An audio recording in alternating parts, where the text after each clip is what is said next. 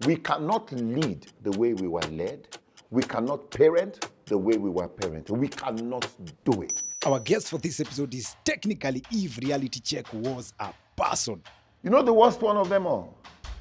The last one, unconscious incompetence. You are a fool, a mumu, and you don't know you are a mumu. Dr. Wale Akinyemi is a published author with 22 books on leadership and transformation to his credit.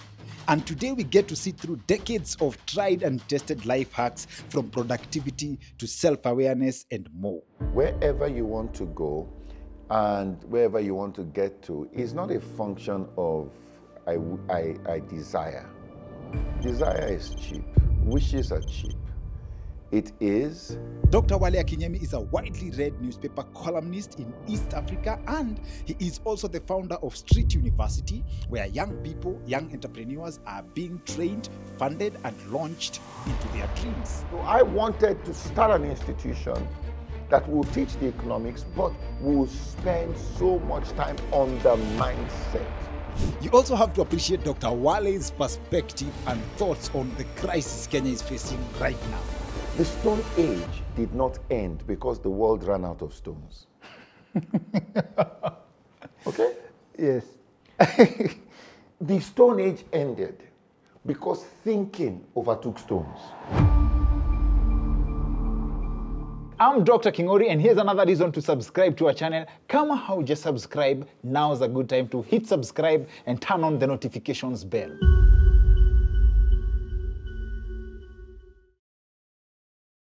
Yeah. uh, the article you shared with me, I was very interested in uh, if the church does not do something now, maybe the priesthood should change. Is this like um, a system that gets changed uh, time and again? Like what? Please tell us something about priesthood. How does it come about? And what's, what's the role we expect it to play, especially under the circumstances we are facing as a country? Well, throughout scripture and throughout history, Yes, you find out that for every season, yes, there is a person or group of people that you know will be right there that you know they're the voices. But for some reason after a while they get so sucked up in their own stuff and then another priesthood another set of people another person is raised. So you saw that with uh, saul was the anointed king um, because he did not obey Yes, what yes, God wanted, then what happened? David was raised up. You had Eli was the priest, you know, and um, he did not you know, control his children and all that. It was a really bad regime. And what happened? Samuel was raised up. And so we see that replacement pattern over and over and over. Um, we see, and unfortunately, you know, we even see it where ministry is concerned. We see it where, you know, there are times when somebody is a voice, and after a period, you know, that They voice is no more there. yes, yes, yes. You know, um, you had uh, Zechariah who was the, the voice, and then, you know, his voice was taken away at a point, Yes. you know, because he did not believe. So his voice was taken away. And then, isn't it interesting that when his son now came, his son was called what? The voice of the one crying in the wilderness. So you have that um, replacement pattern that goes on. It's nothing new. And it always, when the church, who I'm calling collectively the priesthood, when they don't, when they get complacent, and the complacency comes in different ways. The complacency comes with um, outright rebellion.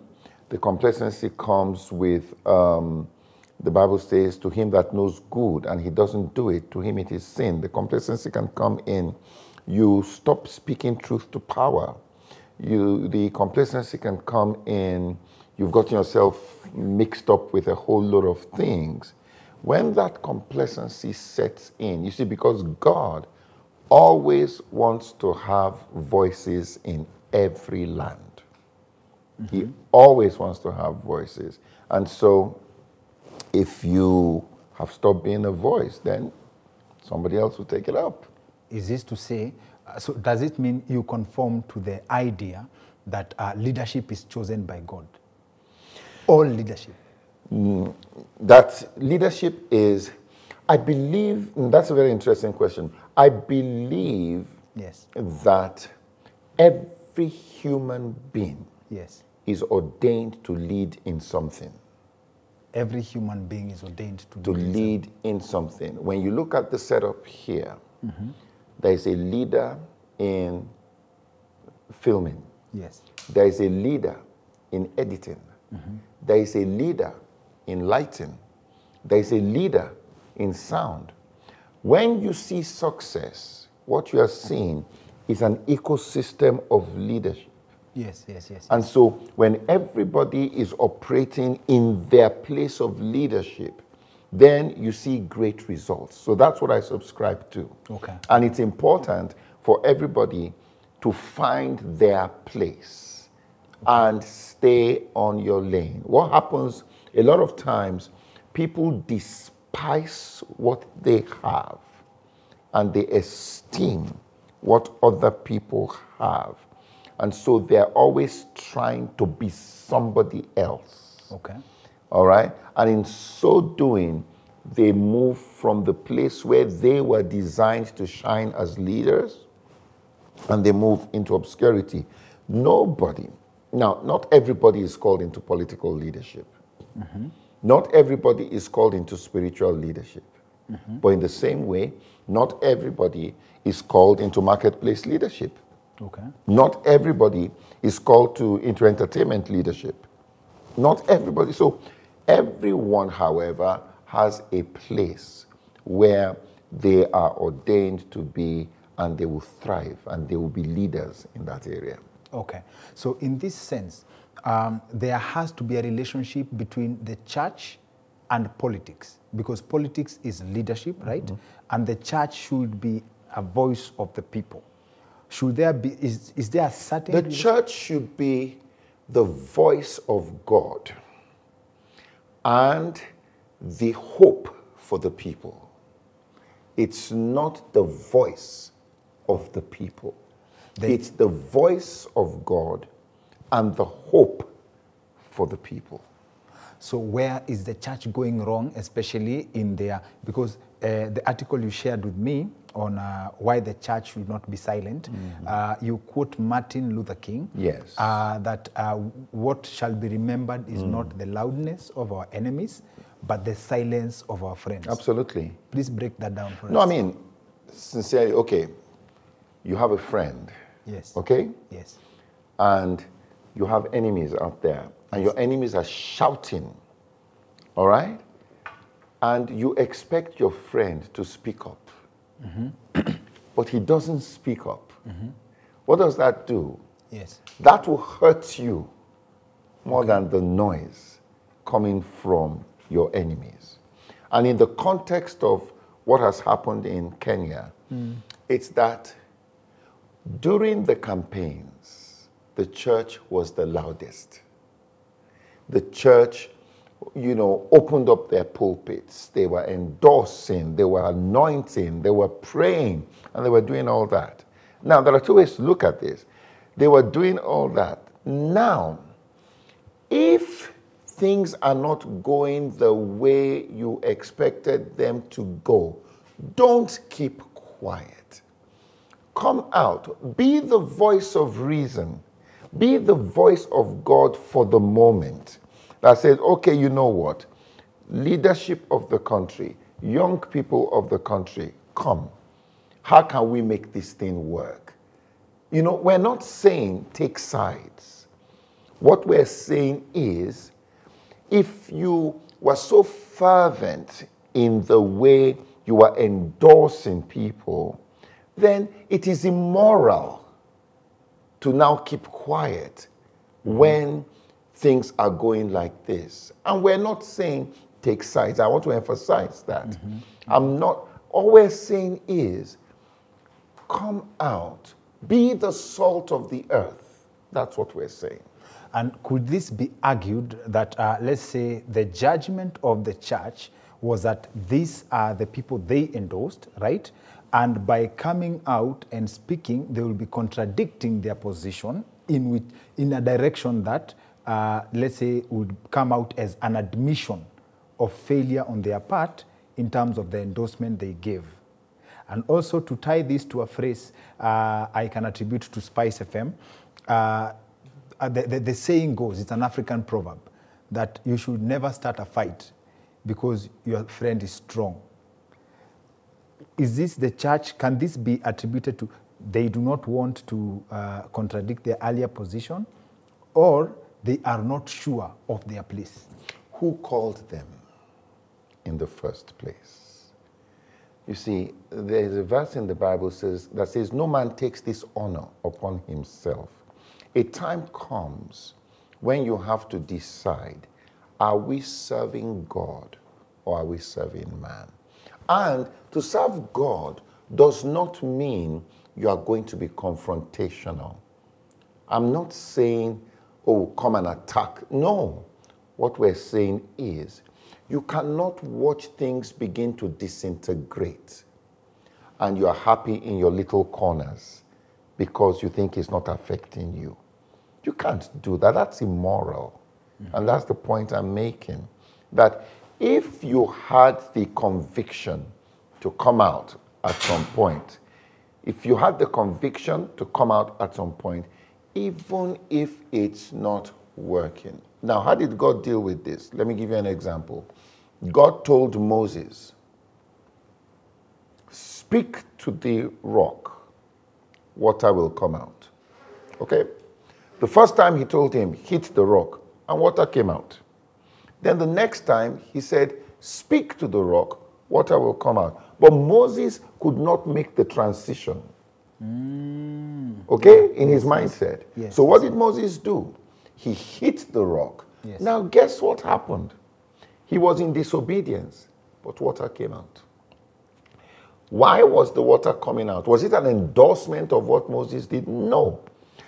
Sometimes God will allow the water to come out, not because of us, but in spite of us. But you know what happened after? God now had a private meeting with Moses and say, yo, what was that nonsense you did? For that, you are not entering the promised land. Mm-hmm. You understand what I'm saying? Yes, yes, yes. And that's the thing. So the church ought to come out and say, hey, you know what? Let's come. Let's let's fix this. Yes, yes, yes. There is a solution. Okay. Let's fix this. All right? Okay. And we do that. And then if after you want to deal with people, go talk to people privately. But we should the hope of a nation okay. should be the church. Thank you. Very well explained. Uh, the, the protests we are facing in the country right now have been branded as a Gen Z affair, right? As a social statistician, mm. uh, what is your assessment of how this is coming about and why it's something different from what we've seen before? Um, very, very simple. We live in a very enlightened age. This okay. is the age of enlightenment. I have a friend who came to visit with her three year old daughter. The daughter picked up the iPhone and knew exactly what to do. Mm-hmm. All right? Yes. When you consider the fact that a lot of the things my generation spent money to learn, we would display with pride that we have learned Microsoft Word, we have learned Excel. We went to school, we paid mm-hmm. to do that. You have a generation now, it's part of their growing up. Mm. You have a generation that grew up playing computer games. They have more computer sense than most of us put together. Now, you have a generation that isn't it interesting? Now, one of the things that fascinates me, mm. if you look at that generation in Lagos, in Nairobi, in Mombasa, in New York, in London, and they are talking, they all sound the same. they all sound the same. Because they watch the same Watch their movies. watch their movies. Hi guys. Uh, Yeah, by they that, all true, true, sound the same, regardless of where they come from. so they are speaking. There is a language that they are speaking. It's the language of the youth. It's the language of a new era. Now, so what we are suffering right now Yes, yes, is a communication breakdown. Yes, it's yes, like somebody is speaking in Yoruba and you are speaking in Swahili and you don't understand each other. But you know what? All that generation, they understand each other wherever they are. That's why it's easy for them to mobilize. Mm-hmm. You know? That's why it's easy for them to mobilize. They are, it's an enlightened generation. We've never had a generation across the globe as enlightened as what you have today. All right? Yes. That is the challenge. And so, in the article, I had written another article before that. Hmm. When you look at the response of the police, you know, the Stone Age did not end because the world ran out of stones. okay? Yes. The Stone Age ended because thinking overtook stones. Mm-hmm. All right? Yes, yes, yes. Now, so you have new thinking with the young guys, you have old thinking with the police. All right? Okay. So, what the police know is what they what they've always done is what they did. Mm-hmm. They don't know anything, and that is why today a lot of people are going to be left behind, mm-hmm. not because they are bad, but because they don't understand the language of the day. So they can't understand why are these people behaving like this. I mean, I have I have kids. I have Gen Z kids. Mm. You know, so I understand them. I listen to them.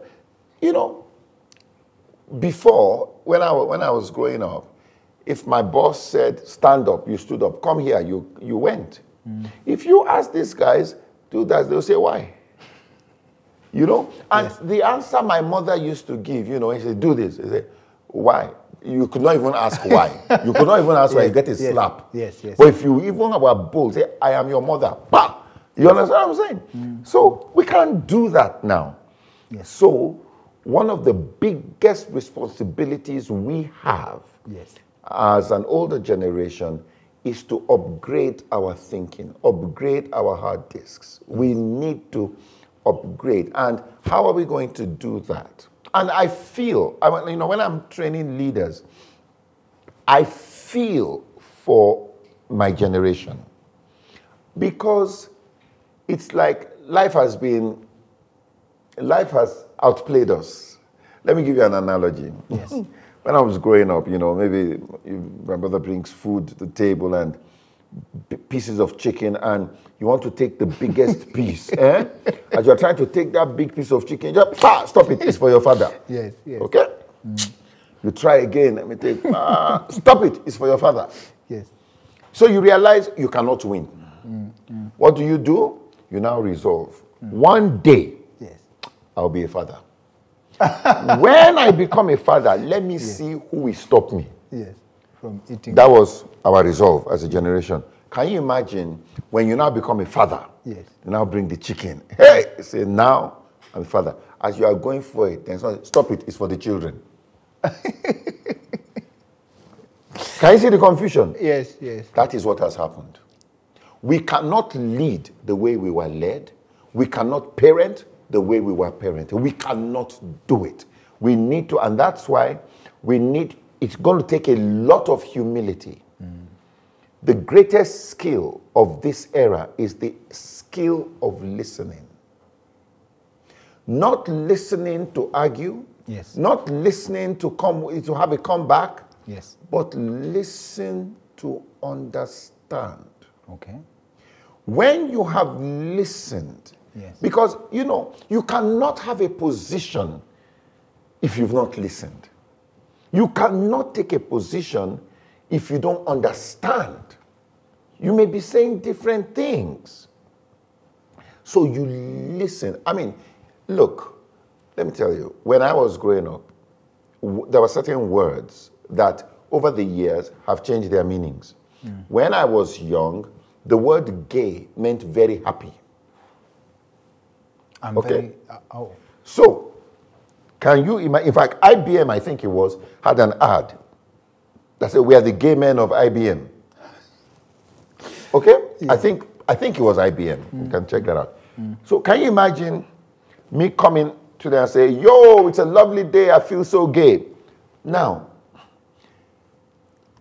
coming from my era, that means it's a lovely day. I feel so happy. yes. But somebody listening to me saying that now, it's a totally different meaning. Yes. That's exactly what the problem is. Okay. So we need to listen. Listen to these guys. Don't assume. Listen. Then, when you have listened, embrace. And then, when you have done that, then you now say, okay, how can we adapt? That's the only way to guarantee continuity. Okay. How can we adapt? You see, the the oak, the the the the, the, tree, the the, the the the storms and the wind, they will destroy big trees, but shrubs remain. You know why? Because the shrubs, they move with the wind. It's called adaptability. The oak stands tall, that I cannot be moved. And then the storm lifts it up. Yeah, So yeah. listen, embrace, understand, and then adapt. Adapt. Wow. And this goes to the place where generations talk about uh, um, I miss the old days when things were real, right? Uh, does this mean that we should always, ad- adapting means there is nothing like sticking to the old days? There's no old days, you know, because the truth is this. When my children, 20 years from now, they will look back at this day and say these were the old days. But it's the new day for them. You know? so the problem happens when society, things outside are growing faster than you're thinking. That's where the problem happens. You know, look, this thing called thinking, you know, a lot of people think they are thinking, but they're not thinking. they're just rotating ignorance in their head. Yeah. You know, a lot of people, this thing called thinking, it is so powerful. You know, we have to continue, continue to develop ourselves. Um, when you look at the word civilization, Yeah. one of the great meanings of the word civilization is making the best use of resources available at any point in time. Okay. Civilization. So, a civilized person today is somebody who is able to make the best use mm-hmm. of all the resources available today. Yes. Now, when you look at that, that means there is a difference between educated and civilized.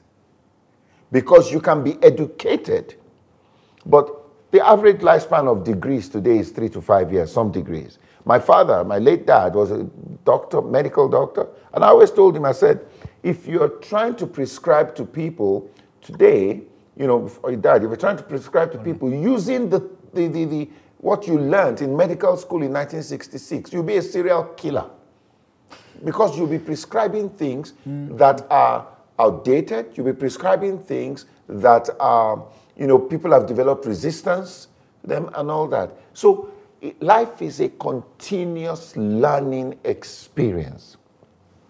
Where we get into trouble is if we're trying to use yesterday's knowledge to deal with today's problem we will be stuck. We will find ourselves in a very bad place. Uh, one of the things that stand out from what you've said is you have to listen more, Absolutely. right?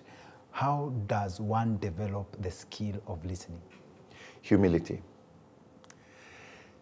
You know, the humility to accept that I don't know everything. The humility to accept that what I know might be wrong. The humility to accept that what I know that was right yesterday might be wrong today. And the humility to know that this person might know better than me. I'll give you two stories. Yes. Steve Jobs said, We don't hire brilliant people to tell them what to do. We hire them so that they can tell us what to do. And I learned that, and that's what I've done. I saw Winston Churchill said he succeeded because he surrounded himself with people who are more intelligent than him.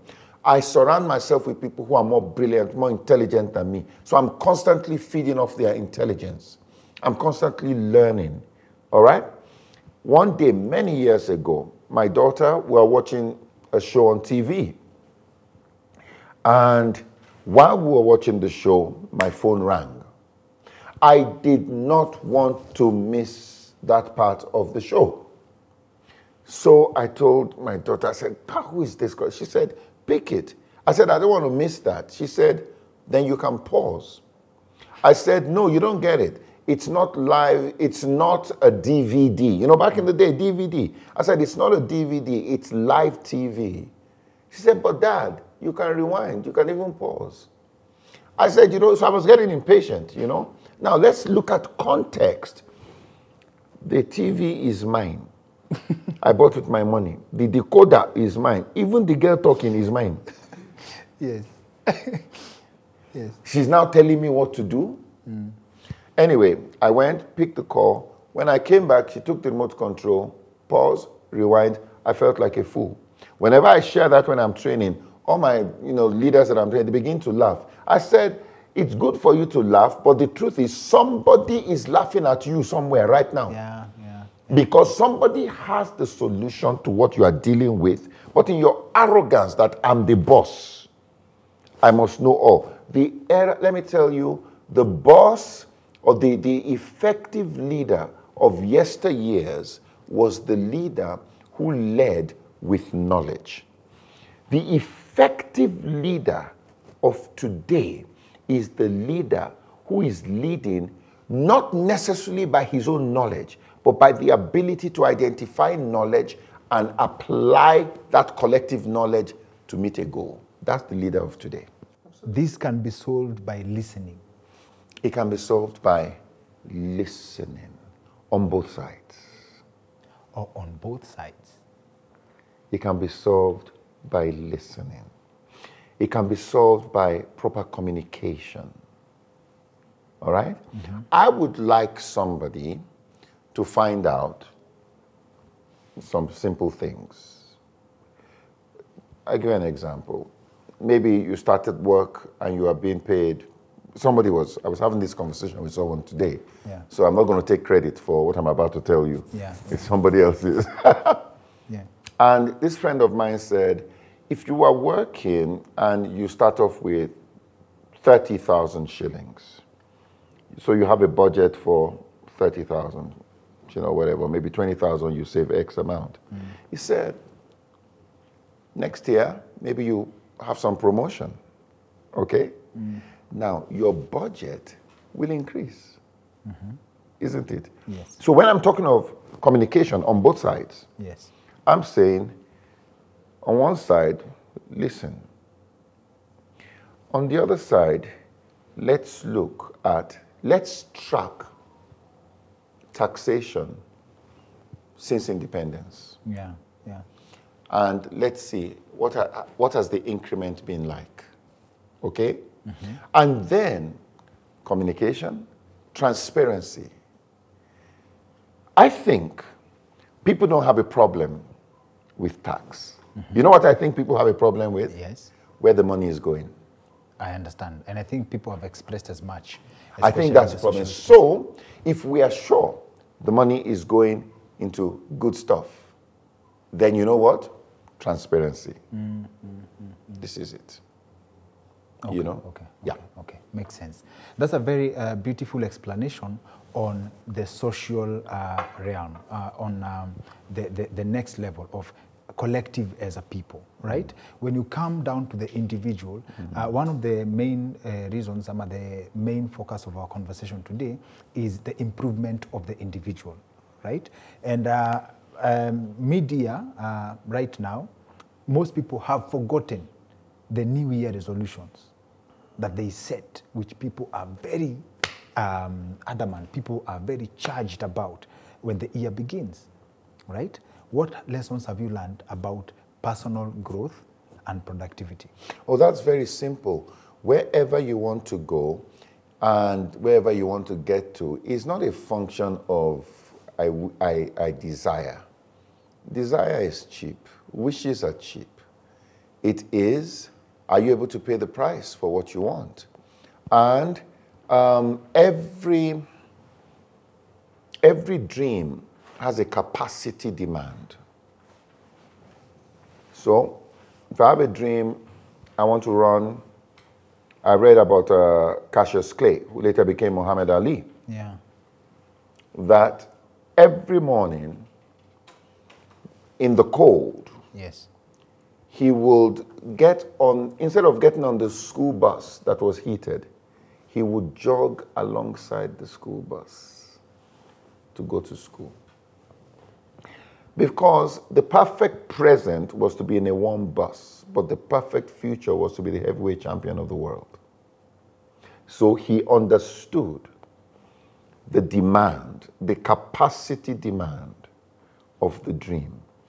If you have a dream and you don't take time to understand the capacity demand of your dream, it will stay as a dream.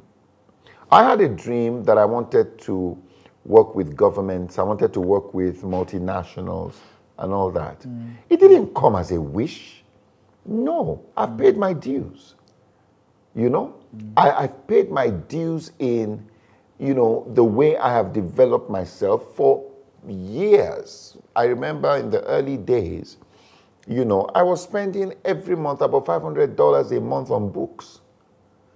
You know, because I cannot go before a client and begin to talk some nonsense. I cannot argue, for instance, I cannot share opinions with, I, I, I cannot argue based on opinions. I always tell people I don't have opinions. I am data driven. You know? That's why I, I, I totally believe in God we trust, but show me the data. You understand what I'm saying? Show me the data. Mm. So if you're going to argue about something, gi- maybe it's because of my background, but if you're going to argue about something, give me data, mm. give me facts. Mm, All right? Mm-hmm. So I realized if I'm going to be able to do what I want to do, I want to work for the biggest companies in the world, which I've been able to do. All right? But it's not by going there to state my opinion. Nobody is going to pay me for my opinion. I don't care. Well, what will people pay for? I'm able to prove what I'm saying with facts, with data, with historical evidence. Now, that does not drop from the sky.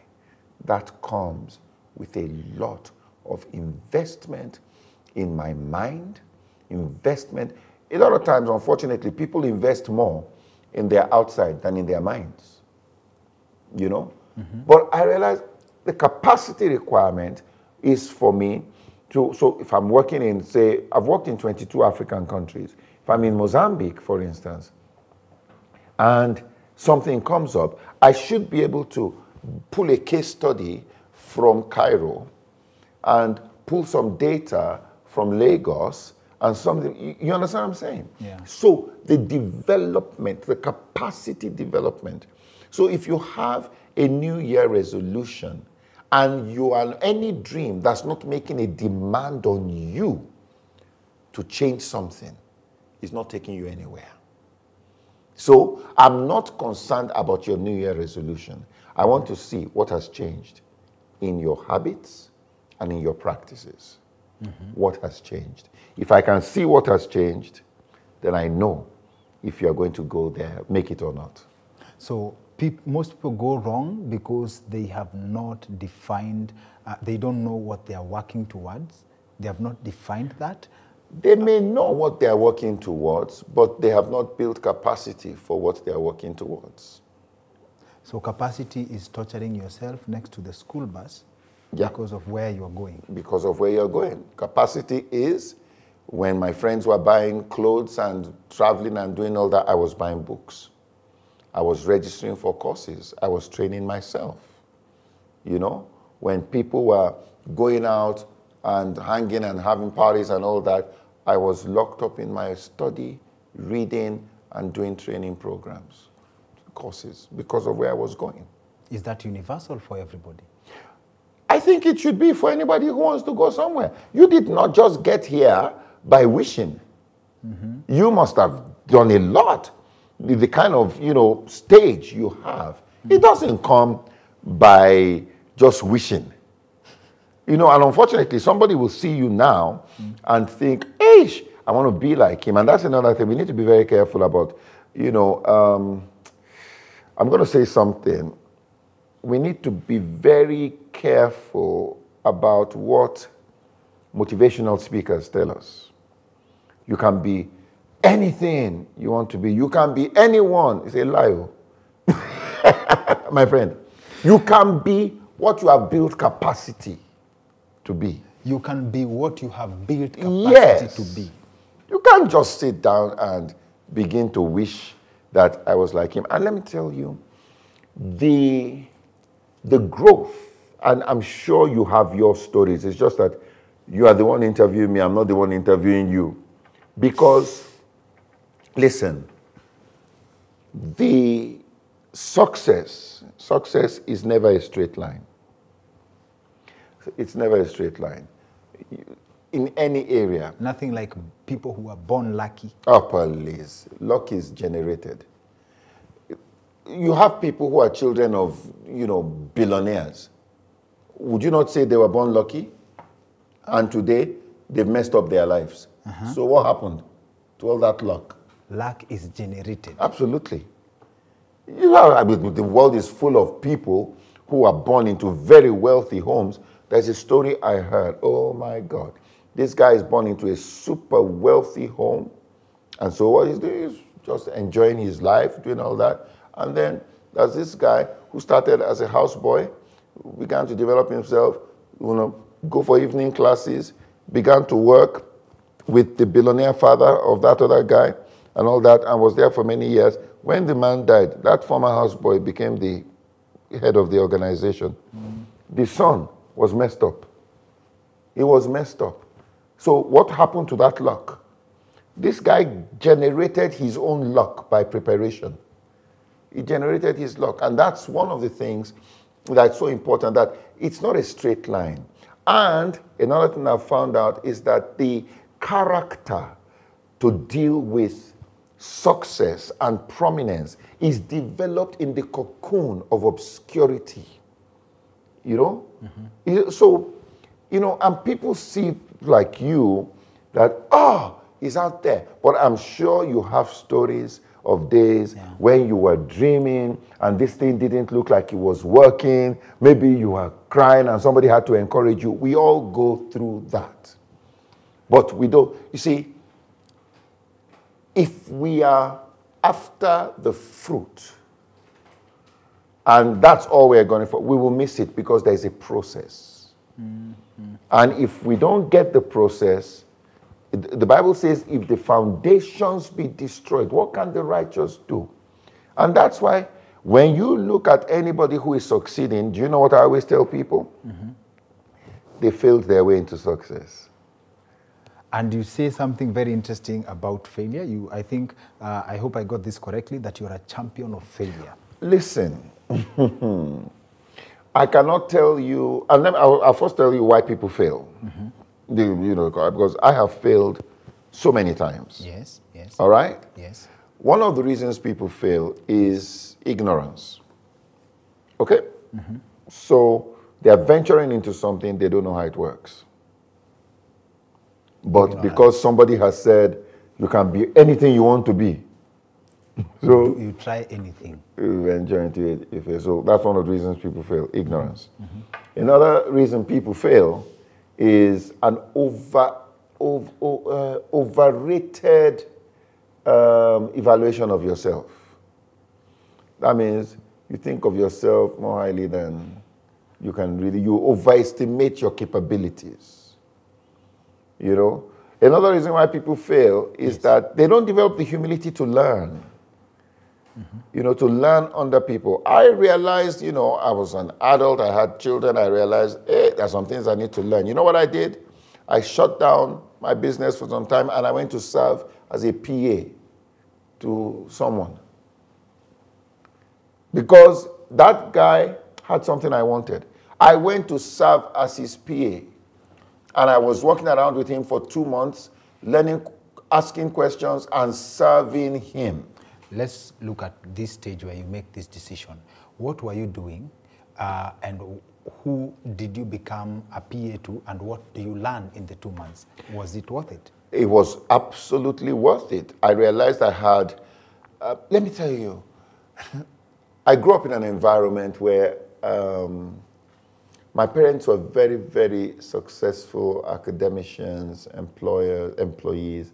But I'll tell you an incident that changed my life. Okay. My parents were phenomenal people, and they, they sent me to what was then international school in Ibadan, Nigeria, which was when probably one of the probably the most expensive, best school in Nigeria when we were younger. Mm-hmm. And we lived in, I'm talking of in the 70s. We lived in this house on like two acres. It had a drive-in. Ah, It was beautiful.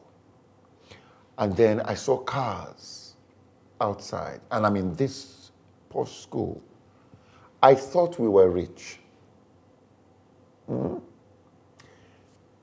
My father was the chief medical officer for the state. Okay? So I thought we were rich. Then my father changed jobs. And I realized the house, the cars, the furniture, the bed we slept on, we owned nothing. Everything belonged to the government. That was a turning point for me. Can you imagine the shock?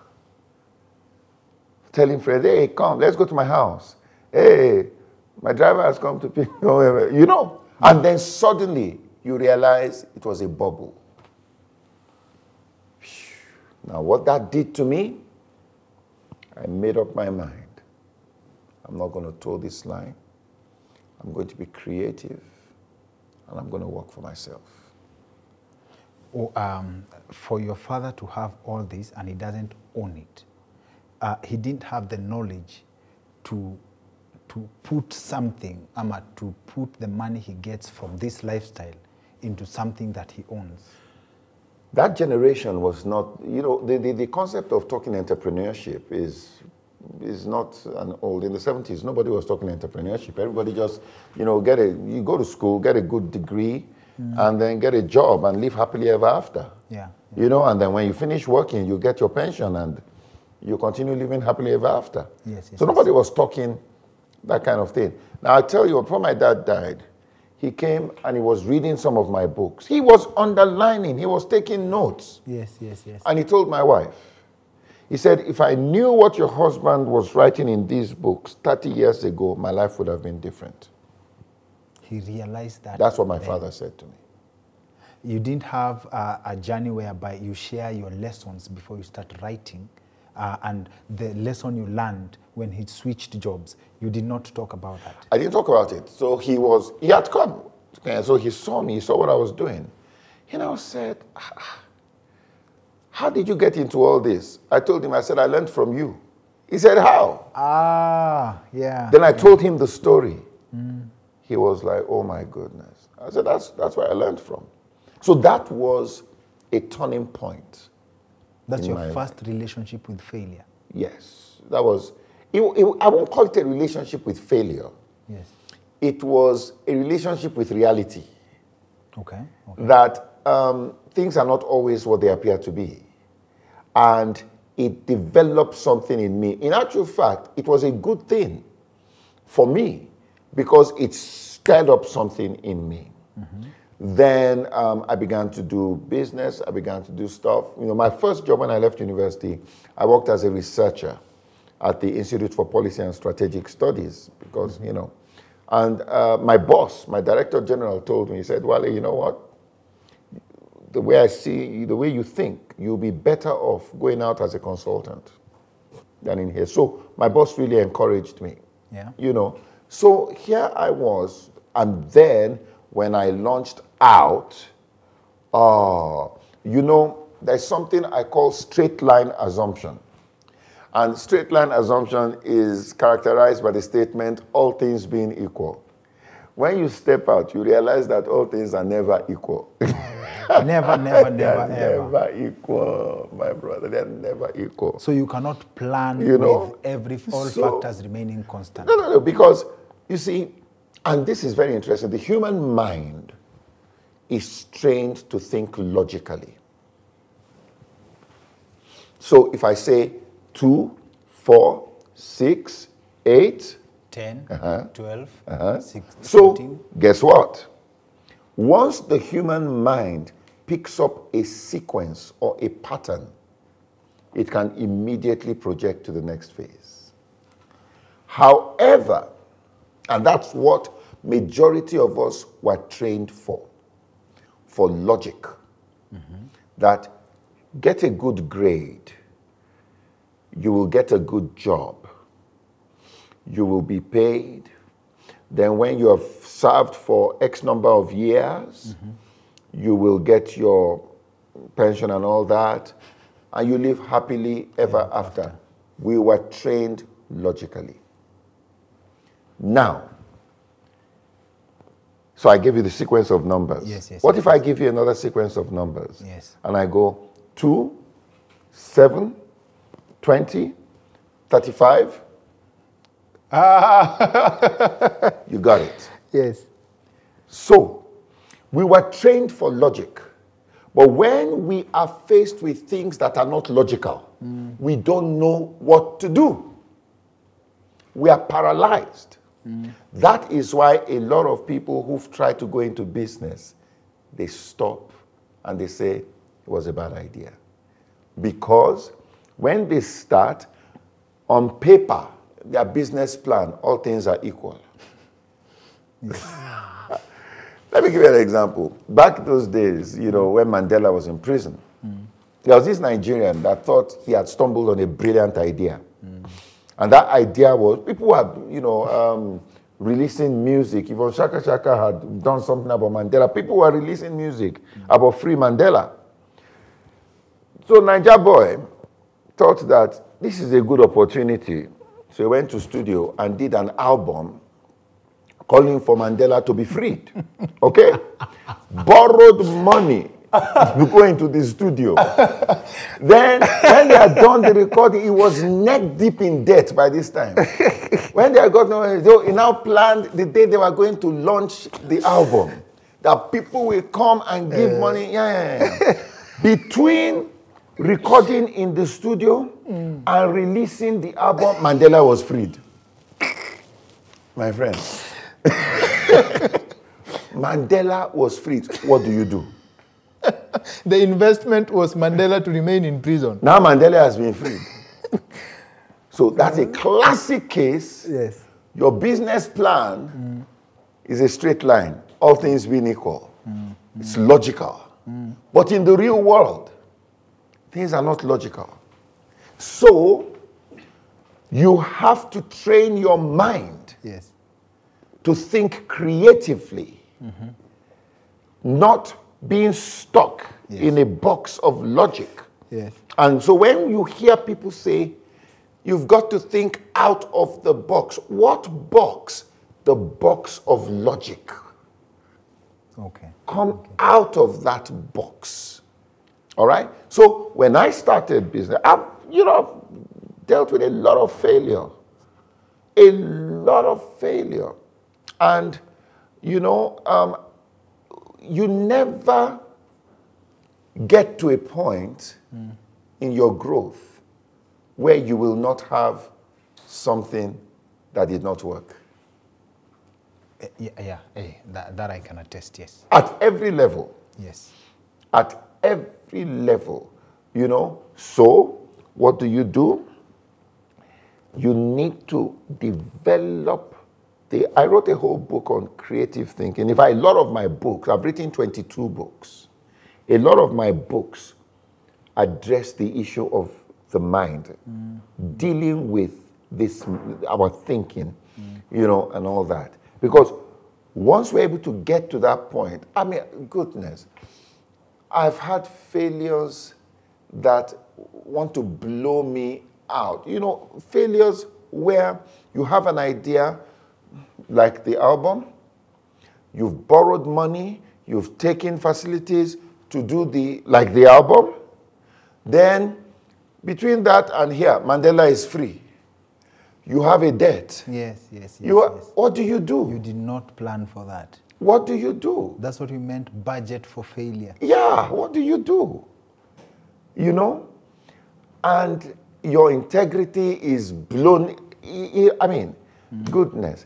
I, I was having a chat with a friend of mine some time ago. Yes. And he said, if you look at the stories of every great success, there is a time in their journey where it looked like they lacked integrity. Because they were in that creative space, that logical space. Mm, mm, mm. And Mandela is released. Yes, yes, yes, yes. And you are now, how do we deal with this? I, I mean, somebody who plans to come to Nairobi, say for a meeting that was going to turn his life around, he has come from Lagos, he's gotten a loan from Lagos, he's coming to Nairobi for a meeting that will change his life around. Yes. Then he gets to Nairobi and it is Occupy Parliament. Yes, yes, yes, yes. So he can't move. Mm-hmm. What does he do? So the best formula for success is flexibility. You have to be. And And, you always have to realize that the fact that this did not work is not enough justification to give up. You will keep at it. You know, and that's why Keep a- at it. another thing, you know, you hear a lot of people, you know, because I'm a statistician, mm-hmm. I question everything. Mm-hmm. Like I said, I don't deal with opinions, I deal with facts, with data. Mm. I'm sure you've heard this said by people, and when you hear some of these things, they sound very wise. Have you heard someone tell you that the definition of insanity is what? Doing the same thing over and over and expecting what? A different result. That's what they tell you. All right? And I actually said it for a while. Then I began to think about it. You have to question some of these things we hear. That how can the definition of, of insanity be doing the same thing over and over and over again? Yet the same people who tell us that will quote that, you know what, you have to be persistent like Thomas Edison. Yes, yes, he did 10,000 experiments Yes, yes. before he got to the. Yes, That's what yes, we're doing. Where is the line? The only way to become a master at something is doing it over and over again. That's the, so we need to begin to question some of these things and question even our assumptions. I think it comes in context. Hmm. Like there are certain things that if you do in the wrong direction, hoping to get different results in terms of reaping benefits. Let's say, for example, uh, you don't save money, you don't watch your finances, but hoping you'll get rich. I think in that context, Well, yeah, ab- ab- absolutely. Yeah, I agree with you. Then we should rephrase it because phrasing it that way has led a lot of people to give up maybe just before their breakthrough. You did not become a success after you shot one video. no. no, no, no, no. You kept at it. Yes, yes, yes, yes. over and over and over. I was with a friend of mine in Nigeria some time ago, big celebrity musician. So I'm in his house and he had all sorts of albums on the wall, about 20. I said, What are these? He said, These are all the albums I recorded before people knew me. Oh, yes, yes, yes, yes, yes. you know That's, that's, so if you have um, if you have if you cannot trace the story or the journey of a successful person then it's questionable Powerful. That's deep, actually. Ah, the one reason, the number one reason people fail is ignorance, right? Uh, why? Okay, and then failure is not a bad thing. ignorance assumptions Oh, like i said yes assumption overestimating your capabilities not being humble enough to learn to submit yourself to learning there's a lot of reasons And how does a person who is pushing in the right direction, which they genuinely believe is the right direction, know that however hard they push, nothing good will come out of it? nothing good will come out of it and you're on the How right- do you know you are pushing in the right direction? You may genuinely believe that you're pushing in the right direction, right? You keep doing the same thing over and over again, accepting, uh, expecting uh, different results. It's a good thing, but it's not for you. How do you define your purpose, to put it shortly? You are going to be very, very sincere with yourself. You are going to have to build a. Um, let me tell you what. There are certain questions. I run a lot of one on one programs for leaders, and there are certain questions I normally ask. And when I ask those questions, you already know. You know, for instance, I've seen a lot of people, they are doing things because that is the societal expectation of them. Okay. Now, I wrote a book, uh, it was called Mental Independence, the, you know, An Innovator's Guide to Thinking Indep- Without Precedence. And I had a dream that I had sold half a million copies of that book.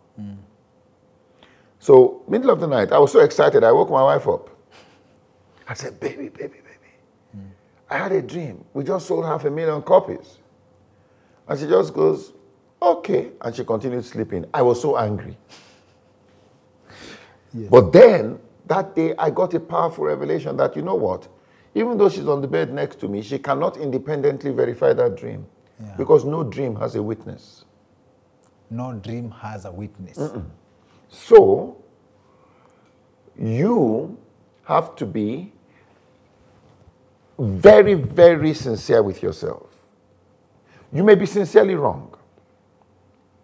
All right? And I found out if you're sincerely wrong, somehow you will find your path. You may not know what you want, and nobody should get frustrated because they don't know what they want. But you know what? You will know what you don't want. So you begin to eliminate. I don't want this. I don't want this. I don't want this. I don't want this. And you know what? You will ultimately be left with that which you want. Okay. And then also, I go back to where I started from about training yourself. Let me give you a powerful example. 30th of November, 2022, something happened that changed the world. On the 30th of November, 2022, it was the day ChatGPT was released. Okay.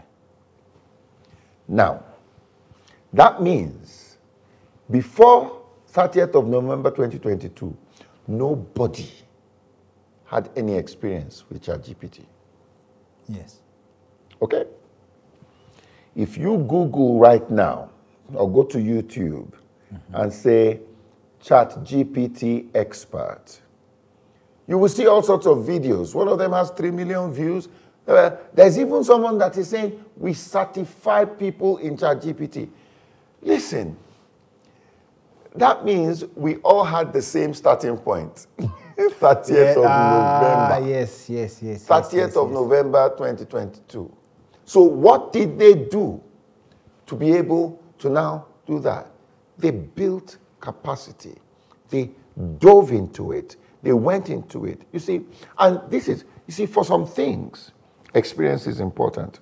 As a consultant, client, I, they invite me to speak with boards, senior leadership, and so on and so forth. Okay?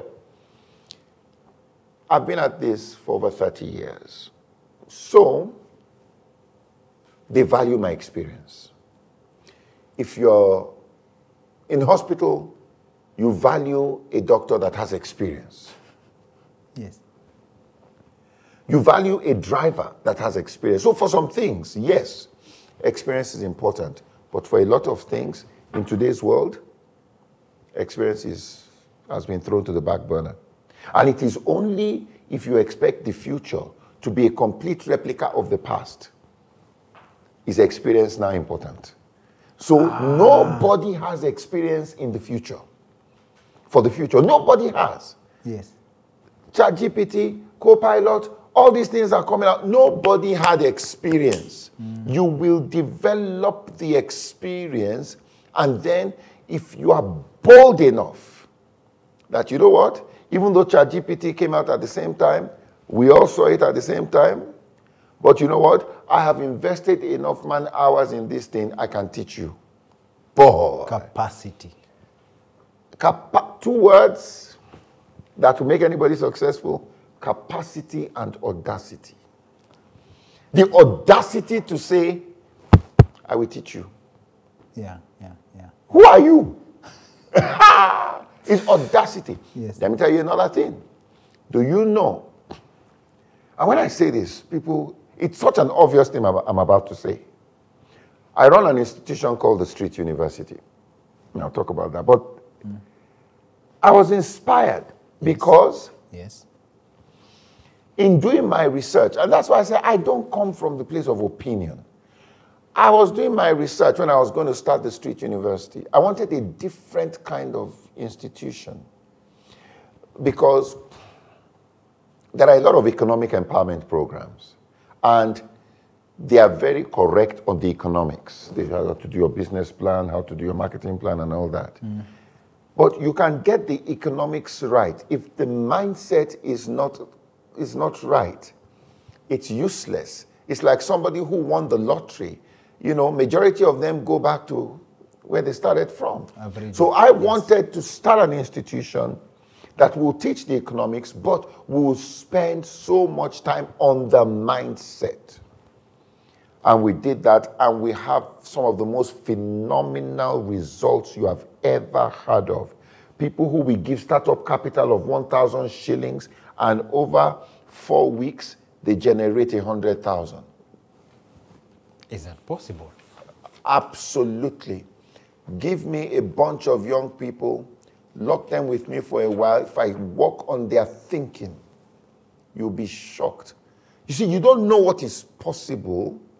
eh? You don't. Oh my goodness. If you don't know what is possible, if you don't know what is possible, you will settle for what is available. Ah, yeah. So, Basi, what's the difference? Eh?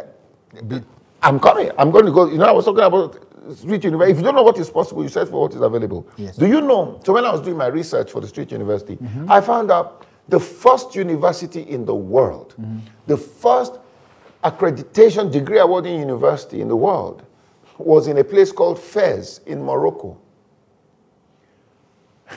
Now, listen, started by a woman. But do you know mm. the founders of the first university were not graduates?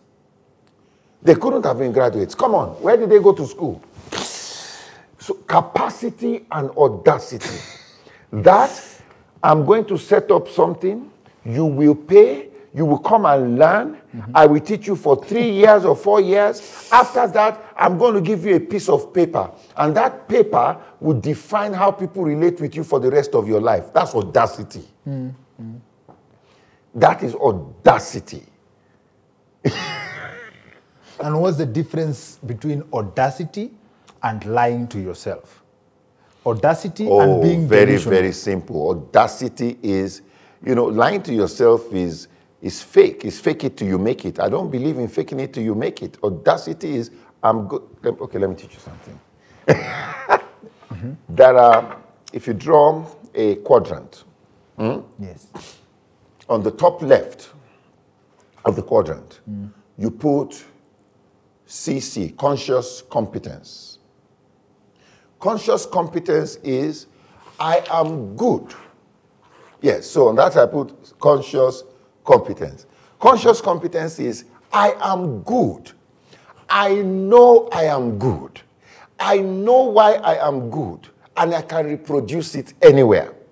CC, conscious competence. Mm-hmm.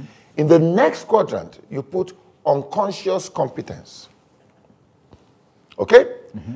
Unconscious competence is I am good, but I don't know how good I am, and I don't know what makes me good. So let me break it down in practical terms. You are working for a company, maybe you are in Mombasa, and you have done wonders in Mombasa. Hey! And they say, we need help in Nyeri. Okay? So please, you leave Mombasa, go to Nyeri, the same magic you did in Mombasa, go and do it in Nyeri. Mm-hmm. Then you get to Nyeri and you fail. You know why? Unconscious competence. You yourself did not know Why you're good. why you are succeeding. It could have been some other factors in Mombasa that you are not aware of that made you succeed there. It could have been some support structure in the office in Mombasa that was lacking in Nyeri that made you successful. Yes, yes, Yeah. yes, yes, yes, yes. All right? So, but conscious competence means I know I am good, I know why I'm good, and I know everything I need to put around me to reproduce that result everywhere, and I can mentor people and teach people. Okay? Then the third quadrant, the third one, you put conscious incompetence. Ah, Conscious incompetence means I am not good, but I know. now, and that's not a bad thing. That's not a bad thing. Yes. I'm not good. And I know. I know I'm not good. That puts you in a place where you can be teachable. You will learn. So that's not a bad thing. Okay?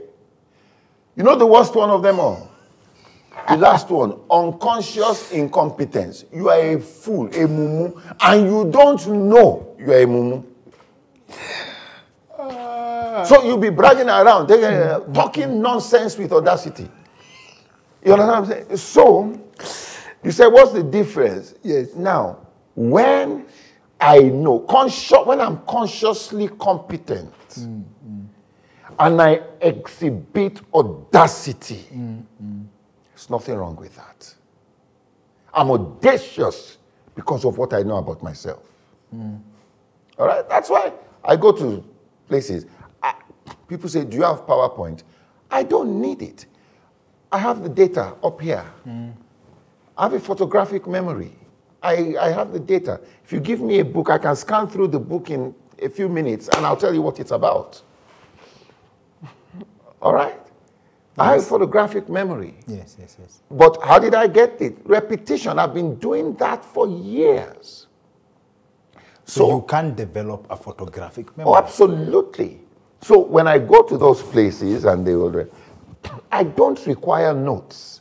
I don't require notes. I don't require uh, PowerPoint or anything. It's here. You're okay. to the person taking So- notes.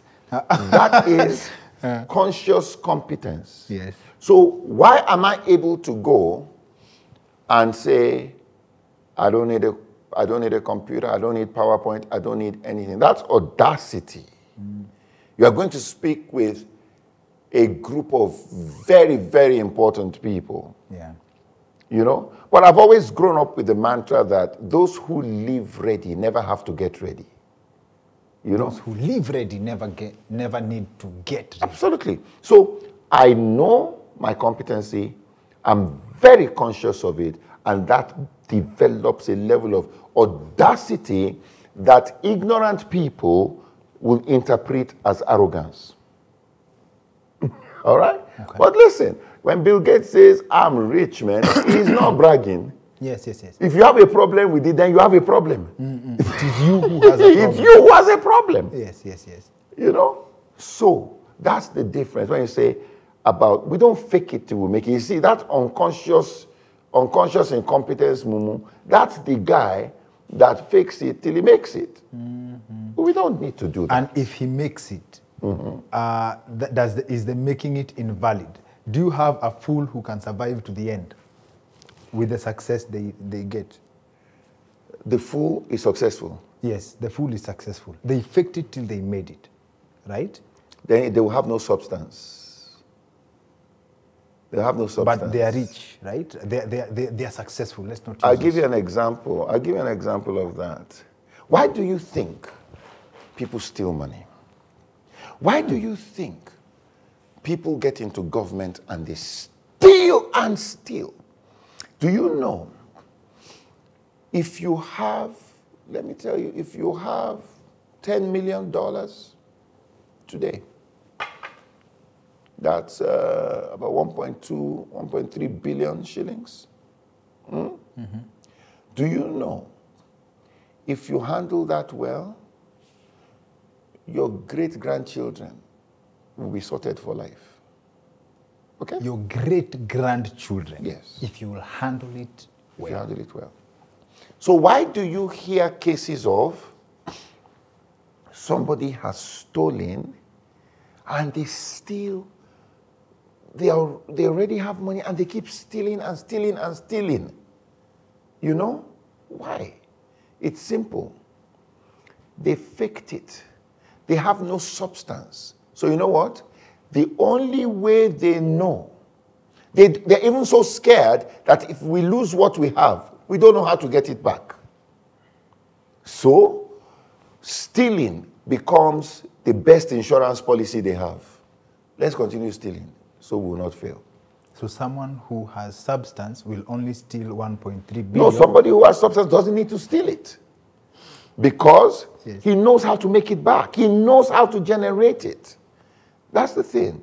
You know, I, I, I have a problem, and this is, let me tell you, one of the challenges we have on the continent. Yes, yes. you a lot of people you, one of the reasons why i'm writing a lot of books that i'm writing now is because we have a problem books on leadership great success business stories and all that look for africans there are very few there are very very few i read uh, the late uh, Njenga Karume's biography. Phenomenal. You know, I love biographies, but there are very few. So you would, we know more about Bill Gates, about Steve Jobs, about Jeff Bezos. We know more about them than the authentic entrepreneurs here. But you know why that is so? Because let's think when you look across the continent, what do the wealthiest people in Africa, what do they have in common? Well, a large percentage of them, it's not absolute. What do they have in common? Do you know what they have in common? Politics. They were either once in government, or have family in government, or have friends in government. There was a government connection. Now, if your wealth is solely the product of a government connection, what entrepreneurship are you going to teach the next generation? Hmm, hmm. What are you going to teach them? That's part of the problem we have. So, they can't write books on how to build a thriving business. They can't. They can't write books on how to build a high performance team. They can't. We want to know. But you see, when there is no story, then we put a question mark at the end. Yes, yes, yes, Yes. yes, yes, yes, yes, yes, yes, yes. Ah, ah, ah, ah, ah. And um, uh, my assessment of where we are as a country is a culmination or a compound effect of a lot of things done wrong. What does it take to recover when things seem like they are far too gone, both in terms of society and the individual? Let's say, um, let's say, for example, when your dad says says to you that if he could have read your book 30 years ago, it could have changed his life. Is there anything like too late, or there is time for recovery, and there, or there is a formula for recovery? I came across uh, a statistic that um, the majority of people Yes. hit financial freedom. Listen to this. In their late 50s and in their 60s. Mm, I've had that. I've had that too. But you know what's happening? Yes. Somebody is 25 and he has not yet blown. Uh, he gets very upset Yes, and yes, all yes, that. yes. But back to your question, let me tell you what. If I'm going to Athi River Yes. And I'm told you will get onto Uhuru Highway, you will get one roundabout, another roundabout, or whatever, and then don't turn there, go, and then you will see one petrol station. I'm just making this up. One petrol station, then go for five minutes. You see another petrol station, then turn, and you get to where you're going. If everything is going well, you see the first petrol station.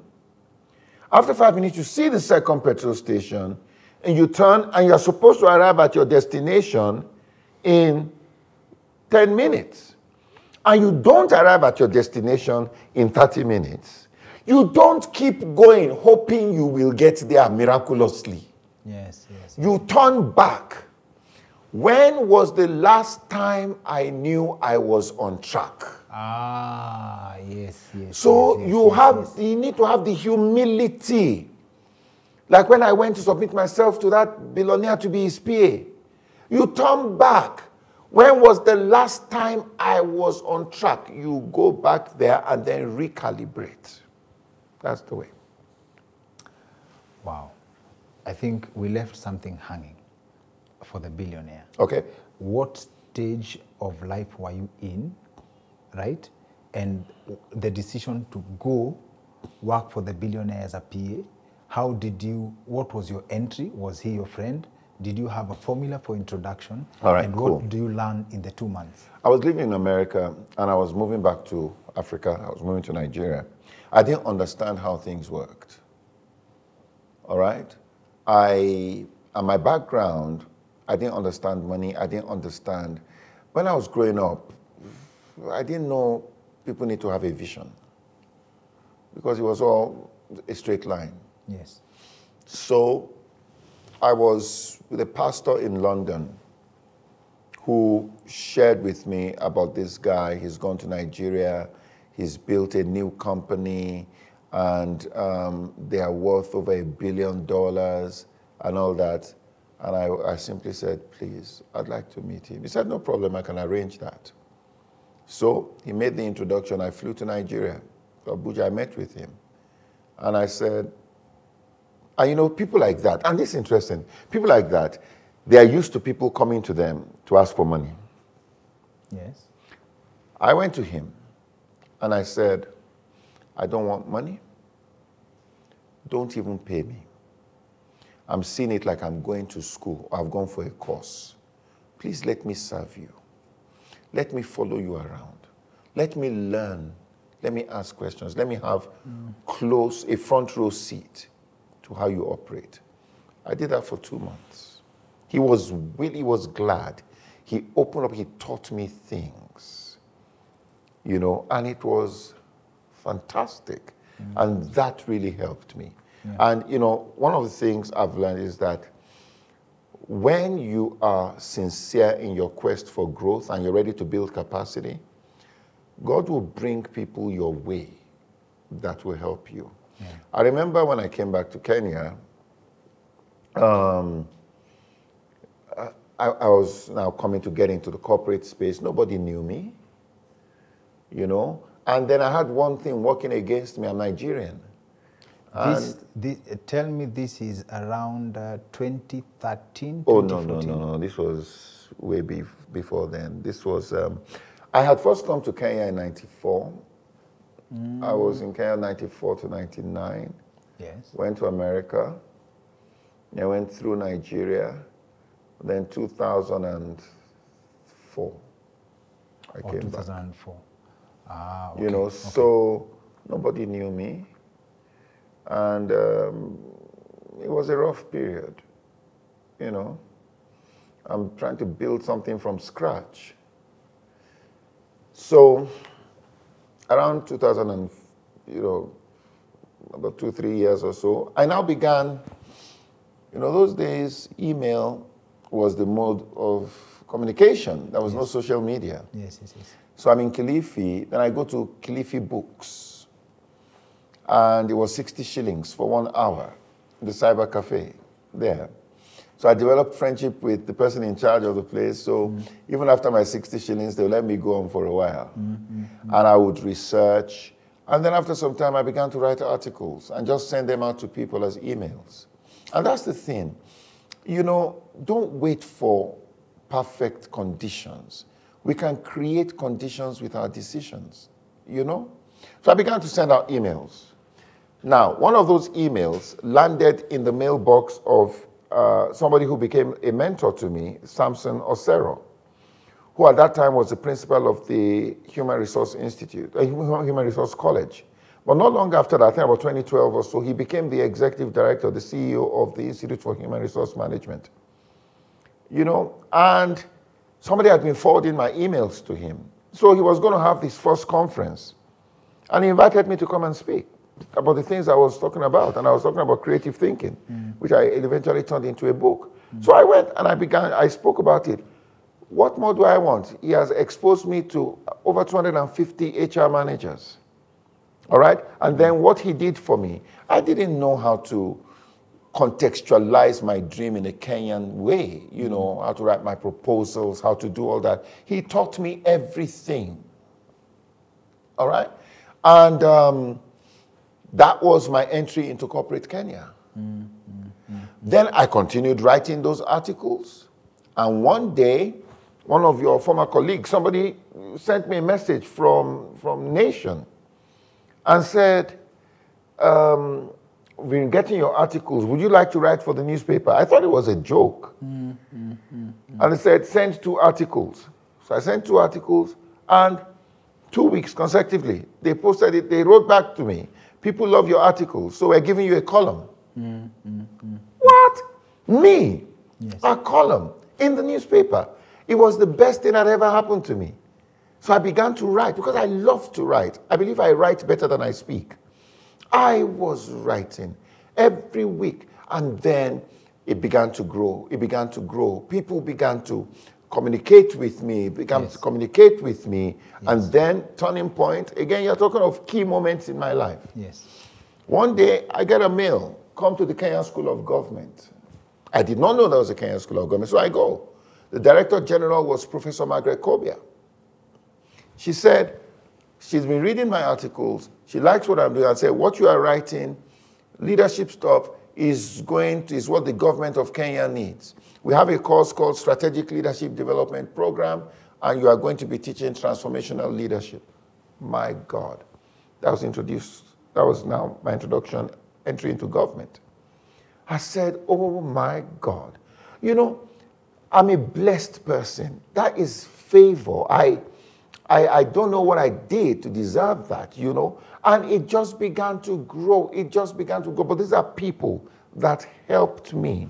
So when you see me talking the way I'm talking right now, mm. it didn't drop from the sky. You know, it's been years of consistency, but also people who believed in me to help me to become a better version of myself. And I'm forever grateful to them. cause and effect. So if you hadn't uh, created the opportunity, because I believe this is also, Bill Gates also has a similar story that uh, his parents were teaching at a school or the school he was taken to, they had access To computers. to computers Yes. and they had enough time compared to any other person Absolutely. to do coding and they went in so if you did not have access to this computer if you did not create a relationship with the cyber person you will not have had time Absolutely. do you see it any other way That's the way it is. yes That's the way it is. You know? yes yes yes yes That, that's the way it is. That if I had not gone there, and you see, this is the challenge. Um, a lot of people, remember when I talked about civilization, yes yes yes yes making the best use of resources available to you at any point in time. And that was it. The resource, I didn't have a computer of my own, but I could go to the cyber cafe. yes 60 shillings, you know? And then I remember another day, I talked about oh, I didn't have a computer of my own. I remember one day I'm sitting, because again, when I had gone to Nigeria, I had failed. That was another failure. You know, mm-hmm. business failed. So I came to Kenya green with nothing. So I didn't have a computer. Then one day, somebody you would you'd know, he called me. Um, now that morning, I, I said, God, I need a computer. So I looked, you know, and somebody miraculously called and said that, oh, there's a laptop for sale.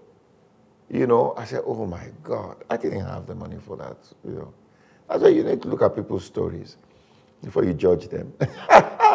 so that afternoon, uh, Pastor Peter Dera and his wife came to visit me.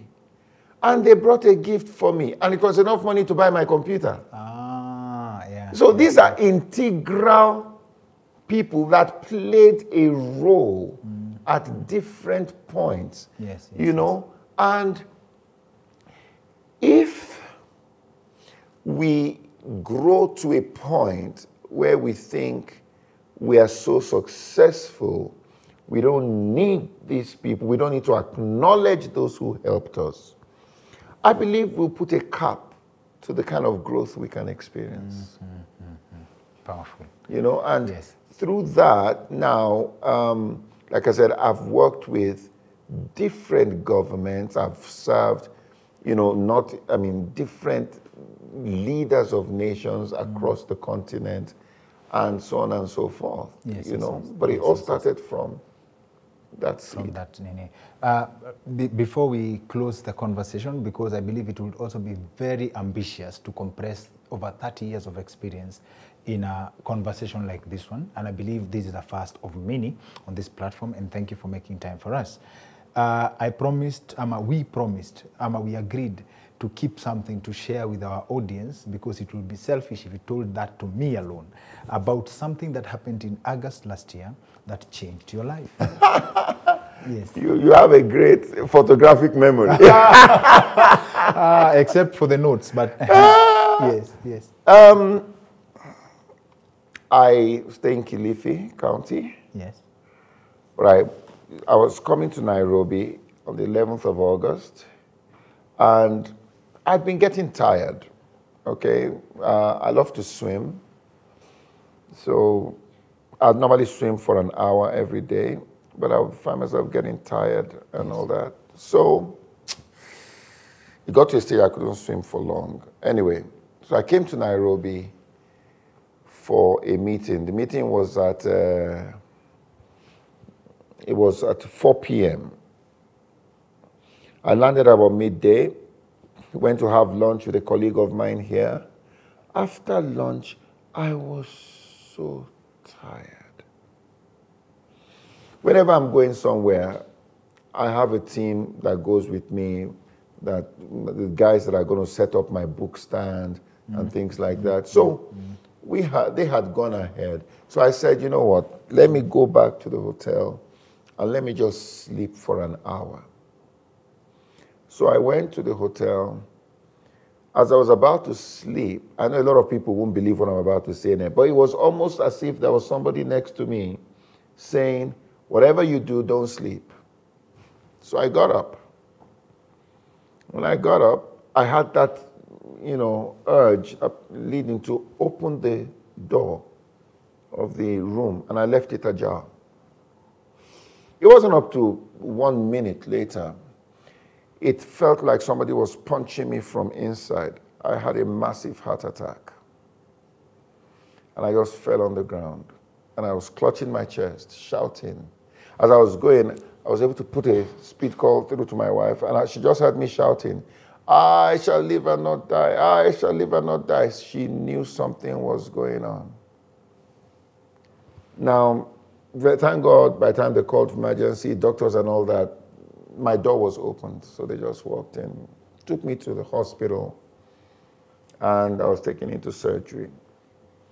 Um, it was a, and people can Google this, they call that kind of heart attack, they call it the widow maker. 90% of the artery was blocked. So even the doctors were coming and they said, it's a miracle. You're not, they told my daughter, you're not supposed to be here. You know, you're not supposed to be here. And they said that something on that scale could have led to some more complications, that even if you survive, you'd be on a wheelchair. You know, because you could have developed a stroke or something, you know, you'd be on a wheelchair for that. So, you know, and then I learned something that after a heart attack, there's something that's even almost as bad as a heart attack, and it's called the post heart attack trauma. So, for a long time, I was out. So, people, you know, a lot of people, you say, Wale, you disappeared. You went out of circulation. You know? Mm. I was battling for my life yeah. you know. Yeah. yeah. Um, and it it changed my life in a way I cannot imagine. I cannot. This this feeling, mm. this uh, this thing that tells you, whatever you do, don't sleep. Have you ever have you had time to interrogate what this was? Oh, I know what I know what that was. That was God speaking, but how many people believe in that? you know. So are you saying uh, in, because I'm sure you've had a field day mm. with this experience, mm. right? Would you would you uh, I'm a hypothesis person. I love hypothesis so much. You are a facts person, but I'll still ask you this because you brought it up. Do you think there are people who die just because they ignored that voice. Or they don't, they can't recognize that voice. Yeah, ignore or they can, they're not able to recognize. You know, and that's sad. But that, I think that's a whole different topic for another. I know, but day. just touch on it for a bit yes. because you are a person who survived that. Yes. You have experienced that the difference between us having this conversation today or Dr. Wale, who uh, I believe we can say this is a special dedication to my younger brother Max.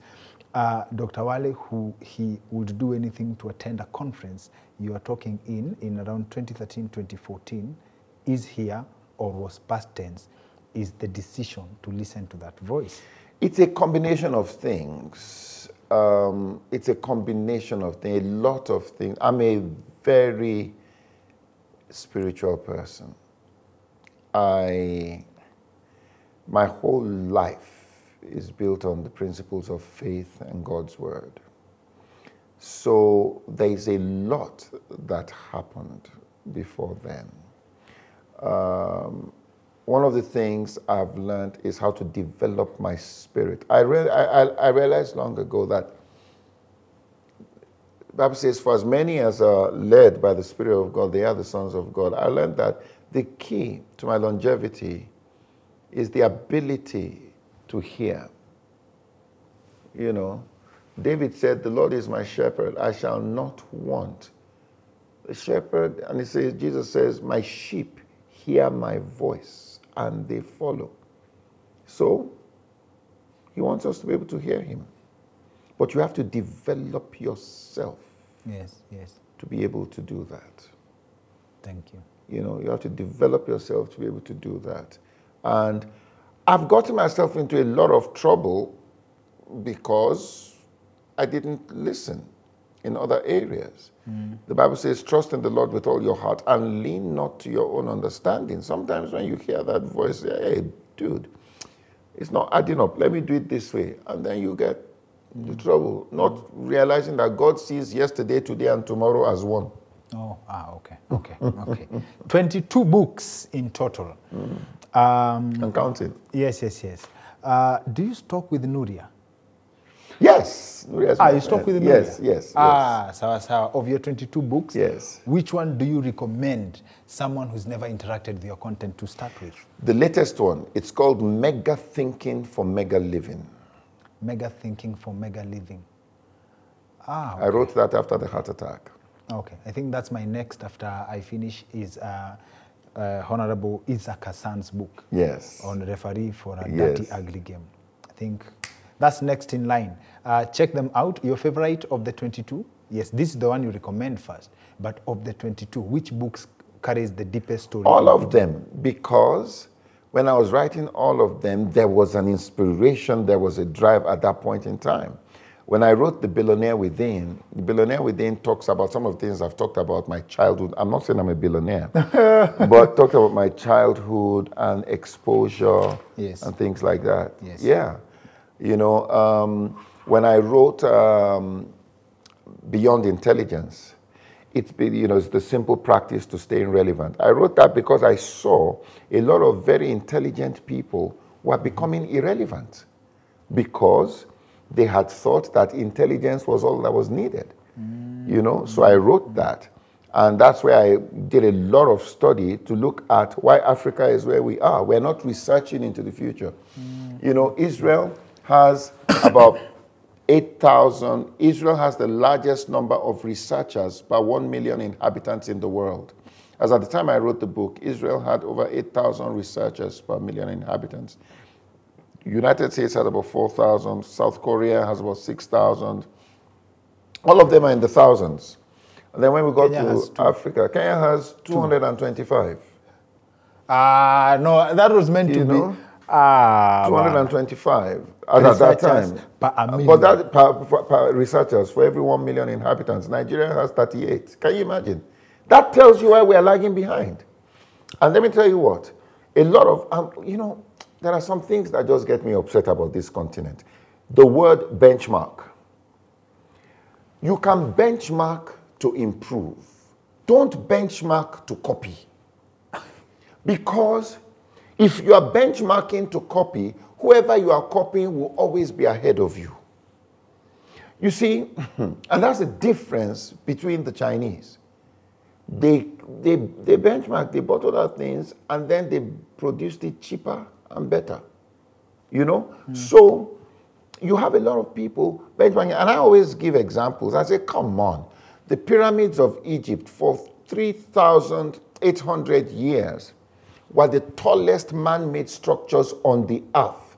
Who are they benchmarking? Eh? You look at um, uh, the London Underground, the train system, developed in 1863, first of its kind. Who are they benchmarking? Yeah. In 1811, the master plan of Manhattan, New York, was developed. A master plan that had roads when people were riding horses. Who were they benchmarking? You know, and this is part of the, the core, part of the core of our problem as a continent, is that we're not researching into the future. So if you don't research into the future, you will live in a future that has been researched into by others. And another thing, even these numbers for our researchers, you know, on the continent, we are not researching to discover new things. We are researching to find out what others have already researched.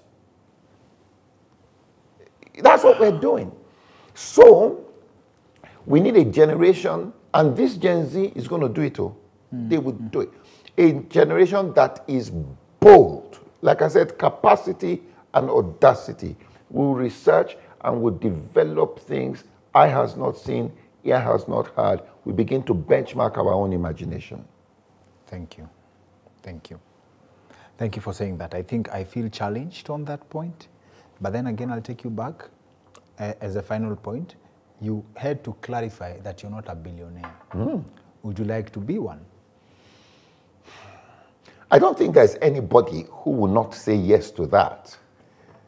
You know, um, money gives you options. You know, but above that, I'm confident I know my place in life.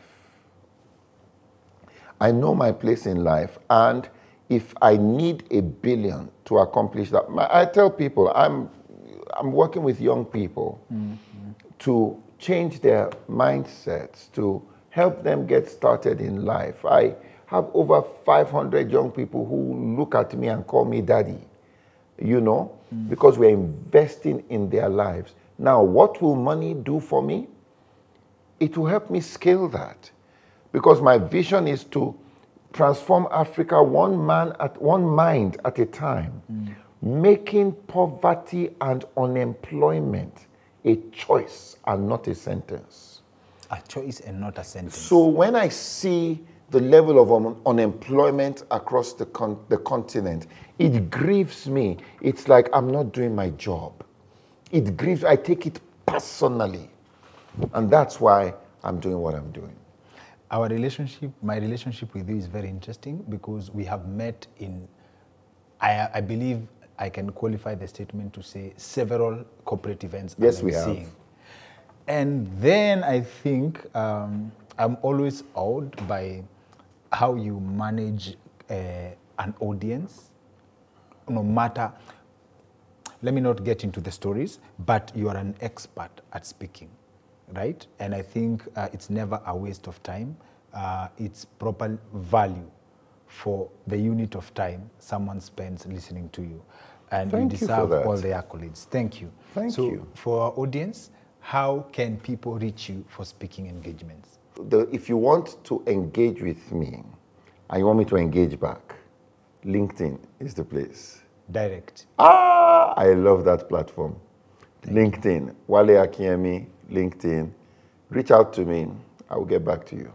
Thank you. Yes, faster than email because email may go through Yes, yes, other people. This Other one, I deal with it myself. Directly. Yes. Thank you, Dr. Wale, for making time for us. Thank you. I had fun. I, I- hope I've- I added value. The pleasure was mine. and I believe the sentiments, uh, and I believe I, that experience is shared by our audience too. Um, thank you. Thank you.